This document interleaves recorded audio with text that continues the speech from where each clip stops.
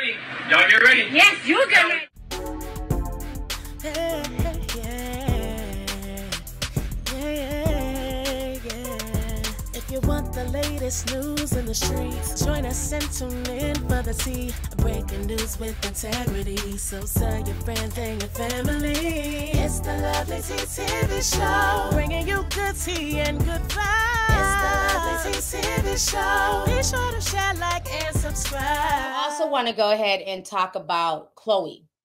And this situation really hit home to me because when I tried to have this conversation a few years ago, I was attacked and drugged. So we're gonna listen to what Khloe um, is going through.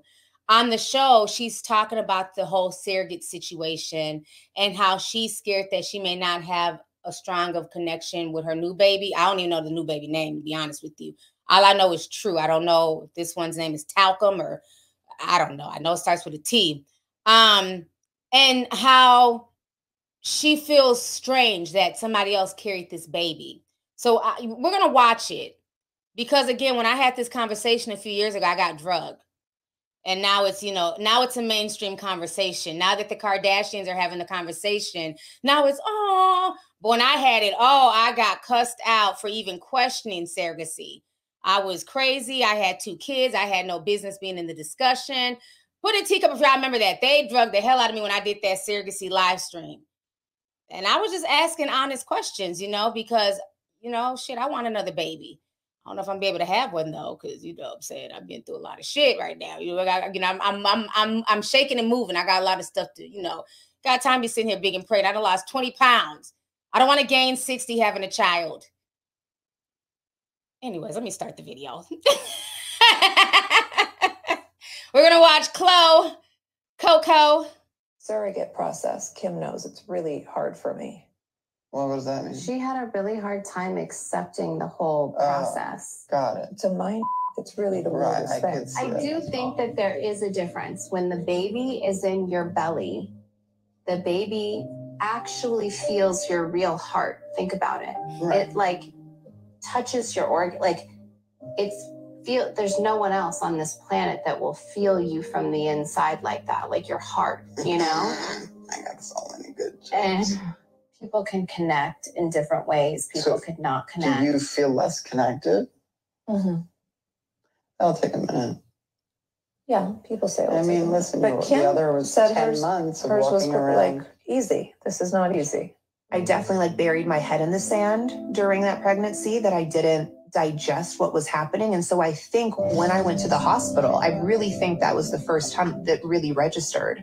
And has nothing to do with the baby. It's just, you're like, okay, we're having a baby and this is my son and I'm taking him home with me. I definitely was in a state of shock, I think, from my entire experience in general. I felt really guilty that like this woman just had a my baby and you're just I take the baby and then I go to another room and you're sort of separated. Like I felt it's such a transactional experience because it's not about him. I wish someone was honest about surrogacy and the difference of it, but it doesn't mean it's bad or good. It's still great. All right, let me come on the screen here. So y'all heard what Miss Khloe had to say. So let me say this. Um, like I said, I tried to have this conversation almost, I think three, maybe four years ago. Put a teacup if y'all remember when I did the live stream about the surrogacy. Put a teacup if y'all remember. Um, and I wasn't trying to come from like a hurtful place.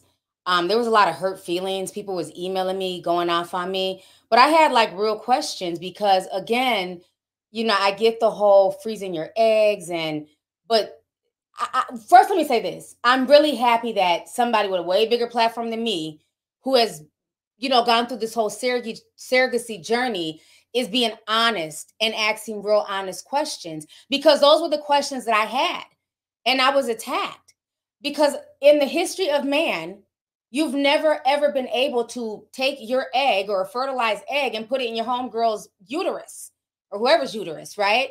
This is a modern thing. when you know back in the day if you couldn't have children you just couldn't have children. You either adopted you were a foster parent or you were just that auntie with no kids and everybody else was your child right?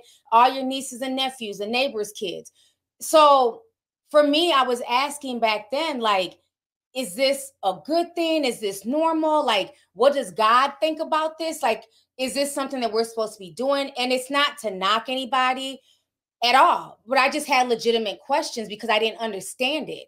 You know, and I was even asking if this is my egg and my husband's sperm, but it's being cultivated in another human being's body, that's in that person's essence. Does that affect the child's soul? Does that affect the way the child is developing? You know, these are crucial moments. Is that child going to take on some of that surrogate's DNA? You know, their blood you know, their heartbeat, like Kim was saying. Will it be a situation where when that baby's born, what if I don't connect with it because that baby didn't grow inside my belly? Will that will that connection with that baby be different from the two boys that I carried? You know, like these were real questions, and I was like really attacked. Like it, it really made me sad because I was not trying to disrespect anybody who didn't have children. Like I understand like the whole fertility thing is a very sensitive issue for women you know, but I wasn't trying to come from that place. I was coming as a woman who really had genuine questions. And I don't know why people got so upset. And their whole thing was, well, you already have kids, so it's easy for you to judge. But I wasn't judging. I was, I really had genuine questions. And so when I see Khloe saying this, I, I'm so happy because these were the questions I had. Because again, my kids are getting grown. Y'all see my kids, you know, the my baby's about to be a senior next year. You know, so it's like they're living their life. They'll eventually move out.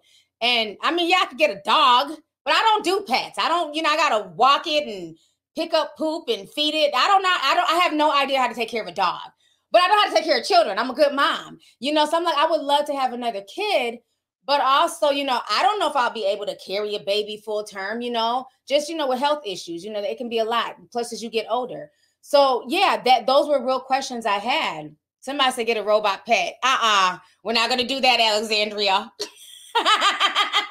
a robot pet. You know, there will be one in the future. But yeah, like these are legit questions. And so that's the thing. And even, and I noticed even with Kim, I watch her kids closely, but I think I look at her kids from a different point of view than most people. Most people watch them for like their fashion, how cute they are. I'm looking for signs of is there any difference with Chi and Psalm versus Northwest and Saint? I don't know if I'm the only one who does that, but I'm trying to see like, is there a difference? Is there a different connection? Do they act different from the other two? Are their personalities more different? Am I the only one who does that when I look at Kim's kids? Because they're all beautiful children. But I, I'm looking to see like, are there different personalities because they were carried in the womb of a black woman versus these two that were carried in the womb of Kim Kardashian, a white woman? Because even the race thing, you know, is that going to be different? Are these kids going to have more, a little bit more soul, a little bit more flavor? Because the surrogate was a black woman that carried those last two children versus the, these two. So other people do that too. Okay, I thought it was just me. And people are saying Northwest is her favorite. You know, I don't know. You know, is she closer to Northwest because she carried North West? You know, it, it's hard to when you're dealing with like, you know, multiple kids, four and up, it's hard, you know, because it was four of us. It's hard for parents to show equal time and love to each child. And sometimes by the time it gets to the youngest, they're just wiped out, you know, because they have to do so much with the oldest. So, but yet I, I I do like when I watch them and I see them post pictures and I see the kids interacting, I'm always looking for like different quirks, you know, because that's what I think. Like if I was to use a surrogate or something in the future, would this kid be totally different than my kids? Like, would this kid be into sports like how we're into sports? You know what I mean? Like you, you know what I mean? Like if it's a boy, like we gonna get you into basketball, football. But what if the mom is not into sports? You know, so and I get it, you know, it's also how you raise the kids, but I also feel like it's something spiritual. I do because pregnancy is a spiritual thing it's a spiritual act and like i said before before this technology this was never an option you were never able to carry a baby for somebody else. you know, and people can say, well, it's no different than being a foster parent or an adoptive parent. But when it's like an adoption situation, you know that you didn't carry that child. You know, most likely the child knows that you didn't carry that child.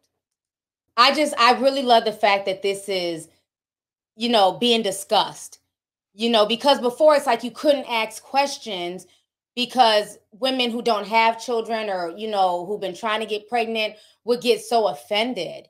Um, because I, like I said, I was very shocked about the the backlash I got from that live. I think I ended up even making the live private, and I was like, I'm never going to touch that topic again because people were so offended but I was asking legitimate questions, and I'm I'm just really happy to see khloe be honest that it was very transactional. Because do you want to, you know, still keep in touch with the surrogate? No, I don't. You know, I'm taking my baby and I'm going off to raise it. And like she said, it was weird because now you have to put the baby on your chest like you just gave birth but it's not the same thing. It's not the same as pushing for, you know, six hours, being in labor for 24 hours and crying and, you know, it's it's not the same. You're coming in with makeup and your hair done and the baby like, yeah, I just gave birth. That's not the same thing. It's just not. They're just keeping it real. It's not. And I'm glad that she was very honest about that. And she was scared like I don't feel like the connection yet. And Kim is saying that she felt her connection right away, whereas Khloe's saying she doesn't feel the connection right away with Talcum or whatever. What's the boy's name? Y'all, like I said, there's so much of a non-connection. I don't even know this baby's name. What's his name? I know it starts with a T. Talum, Talcum. Somebody write in the chat. I don't know this child. Tristan. I know it starts with a T. Tatum. Oh, what I call baby? Talcum powder. Tatum. Okay, Tatum. Baby Tatum. Like I said, they don't even talk about the baby. You know, so you is that because that connection is not there? Because we knew she wouldn't shut up about True. Look at my True. Remember, True had all them filters on. True had pictures every five minutes, and I don't see this Tatum baby. Somebody call the baby titanium. I don't, I don't see this baby at all. So I'm just like, what's going on with this baby? Because she's not posting this baby like she did the other one. So I, I, I just I like the fact that she's being very open and honest. Um, again, there's absolutely not, nothing wrong with surrogacy. You know, if you can afford it and you can find a good person. But I think there also has to be, you know, people shouldn't get offended by everything, especially by honest questions. And I think that that question about will you have a connection to that child that was not in your womb, you know, even though they share the same DNA, quote unquote, as their siblings you know, will that child, you know, pick up different traits and mannerisms? Because again, when it's an adoption, there's no DNA connection. You know that that's a child who was born of, you know, different parents, right? So you know they're going to have their own personality, their own DNA, their own quirks. But it's very different with this surrogacy thing. It really is. So I, appreciate her for being open and honest with that because you know those are questions I have. So I, I thought that was good. I, I really enjoyed that part of it. So I will tune into that particular episode to see how it finishes. And the man that was in there talking with Scott, somebody asked with that Scott, that was Scott in there. Because as we know, you know, Tristan, honey, he's a part-time, he's a part-time daddy. So Tristan was nowhere in the conversation. You would think he'd have been there, being that he, you know, it was his sperm used to make baby Tatum, you know, but Tristan wasn't there. It was it was Scott um, having the conversation with them. If you want the latest news in the streets, join us and tune in for the tea. Breaking news with integrity. So tell your friends and your family. It's the Lovelyti TV Show. Bringing you good tea and good vibes. It's the Lovelyti TV Show. Be sure to share, like, and subscribe.